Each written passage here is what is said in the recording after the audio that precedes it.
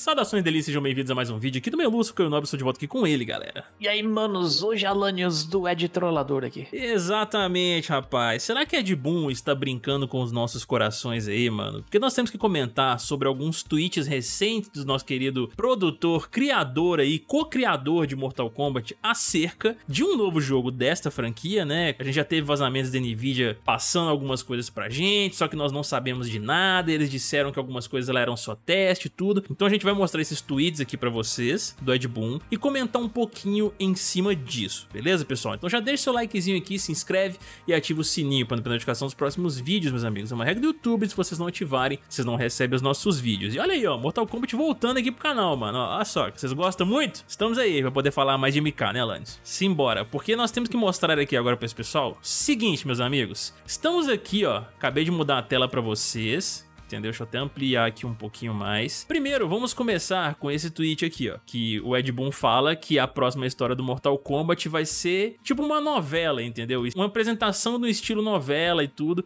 E essa montagem que eles fizeram aqui, que eu acredito que seja de GTA, do Scorpion encontrando o Sub-Zero com a mulher dele no quarto, entendeu? Aí ele joga o Sub-Zero lá pra baixo e tal, ele desce, eles vão começar uma briga e tudo. Então assim, foi uma montagem realmente muito boa, muito criativa por parte da galera. Até aqui, tudo bem, mano, nada demais e tal. O negócio foi quando, Alanios, ele postou esse tweet aqui com essa imagem, ó, tipo, caramba, quem que desenhou? Aí ele foi e marcou o perfil de onde ele tirou, provavelmente, essa arte, né? Se a gente amplia aqui, ó, temos a arte do Raiden, Sub-Zero Scorpion e Mortal Kombat 12 aqui no fundo. Só que isso daqui apenas já foi suficiente pra galera ficar maluca, tipo assim, pô, o que, que será que o Ed Boon tá aprontando? Será que esse tweet dele aqui significa que a gente pode ver alguma coisa de Mortal Kombat Kombat mesmo, porque, como eu falei lá no início do vídeo, né, Alanis? Nós tivemos aí um mega vazamento da Nvidia, e foi vazamento mesmo, porque o cara, ele explicou os passos de como ele fez pra poder acessar lá com os softwares antigos da Nvidia o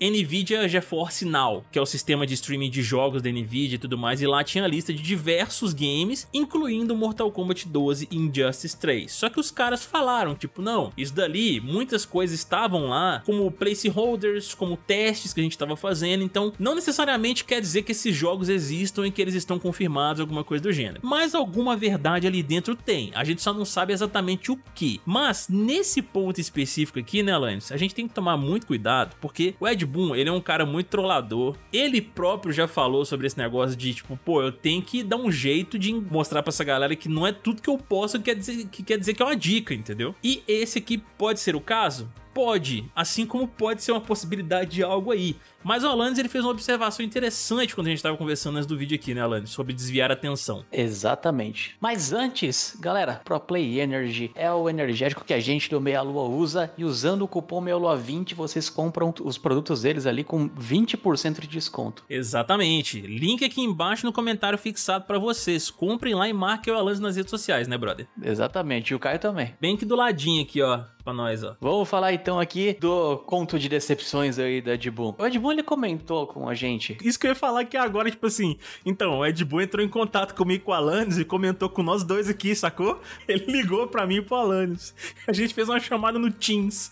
O Ed Boon comentou no Twitter a respeito de uma certa preocupação de como é que né, ele faz para postar alguma coisa sem que as pessoas pensem que ele tá querendo dar alguma dica, divulgar alguma informação ou coisas assim a respeito do que eles estão fazendo. Sim. Aí eu lembro que o perfil do Xbox até foi lá e respondeu assim: ah, se descobrir como, fala pra gente, né? Então, isso mostra que ele tem ciência de que um post desse tem um impacto na comunidade e todo mundo vai, vai achar que ele tá apontando pra alguma direção, que ele tá falando do que eles estão fazendo. Eu vejo isso como uma bifurcação ali, né? Onde você, por um lado, vai na direção que o Ed Boon aponta e encontra alguma coisa relacionada ao mortal, e por outro lado, você vai na direção que o Ed Boon aponta e você vai exatamente para onde ele quer que você vá para você não ficar sabendo do que ele tá fazendo. Então, por um lado, ele te direciona para um projeto, por um outro lado, ele te engana para você não saber do que, que eles com que, que eles estão trabalhando. Eu acho, tendo ciência do, do impacto que isso pode trazer na comunidade, ainda não dá para trazer atenção para Mortal Kombat 12, sabe? Só que eu falei a mesma coisa a respeito do Homem-Aranha e saiu o Homem-Aranha lá no negócio da, da Sony lá, entendeu? Fala, não, acho que é muito cedo ainda, e não sei o que, algo que eu acho que vai ficar mais pro final do ano. E aí apareceu o Homem-Aranha. Então, se eu for em cima do, do, do, meu feeling de que pode ser que ele esteja apontando a gente pra uma direção que ele não quer, talvez ele esteja muito errado. Mas é, é ainda o que eu acredito, que ele tá direcionando a gente pra uma direção pra gente não ter certeza com o que, que eles estão trabalhando, entendeu? É, o Ed Boon, mano, como a gente já falou diversas vezes aqui no canal, nessas coberturas que a gente faz de Mortal Kombat, ele é um cara esperto, entendeu? E ele sabe o que ele tá fazendo tem hora. Ele sabe desse vazamento da Nvidia, ele sabe porque muita gente deve ter marcado ele com relação a isso aí, mostrando lá o Mortal Kombat 12, o Injustice 3 aparecendo naquela lista. Então, são coisas que ele está ciente e é como o Alanis falou, mano. Ele pode muito bem postar as coisas com a mentalidade troll que ele tem ali para poder nos direcionar para um lugar, mas na verdade é outro ou não. Ele quer que a gente pense justamente isso para daí lá no final das contas, quando eles revelarem o jogo de fato na NetherRealm, né, qual vai ser o próximo, tipo, tá, realmente era o Mortal Kombat 12 mesmo, como vocês estavam pensando, só que a gente queria meio que dar uma ludibriada aí, entendeu? O fato é o seguinte, cara, a gente tá com o DC Fandom se aproximando, né, a gente tá bem no finalzinho de setembro já, é, no dia 16 de outubro, se eu não me engano, que acontece o DC Fandom, teremos jogos ali aparecendo da DC, e isso pode ser um indicativo pro Injustice 3, caso NetherRealm tenha planos, sim, para que esse jogo apareça lá, ou então eles guardem para o TGA, e um anúncio grande, gigante, vai acontecer lá, nesse período, entendeu? E aí pode ser tanto Injustice 3 quanto Mortal Kombat 12. Tem gente que cogita a possibilidade de vir os dois aí, mas eu acho meio complicado, porque, poxa, eles já custaram para poder dar suporte para um, que foi Mortal Kombat 11, né? Se bem que teve as questões de pandemia e tudo mais, mas é complicado, a não ser que eles tenham um time muito grande para os dois jogos aí para poder fazer isso, mas seria um concorrente do outro também. Não, não, não, não faz sentido eles lançarem dois jogos ao mesmo tempo, ou então, por exemplo,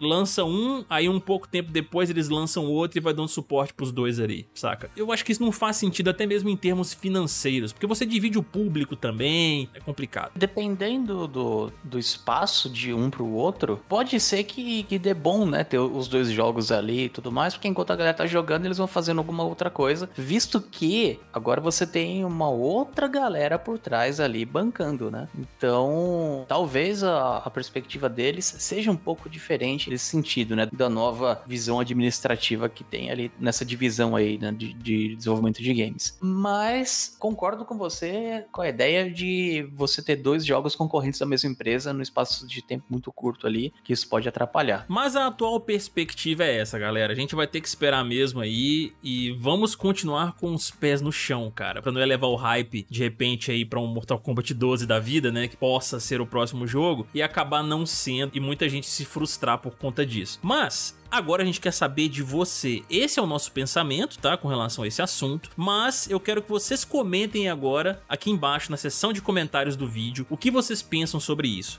Vocês acham que o Ed Boon pode estar tá postando esse tipo de coisa assim, para poder dar uma ludibriada na gente? para nos levar para um outro caminho? Ou ele posta isso daqui, pode ser realmente isso, chega lá eles apresentem, mas ele deixa a galera descrente com esse tipo de post. Deixa aqui embaixo suas opiniões, a gente vai adorar ver de todo mundo aí. Não se esqueça novamente de deixar o seu likezinho, se inscrever no canal e ativar o sininho para não perder a notificação dos próximos vídeos, meus amigos. Vamos ficando por aqui, um beijo para todos vocês aí, até mais. Vamos!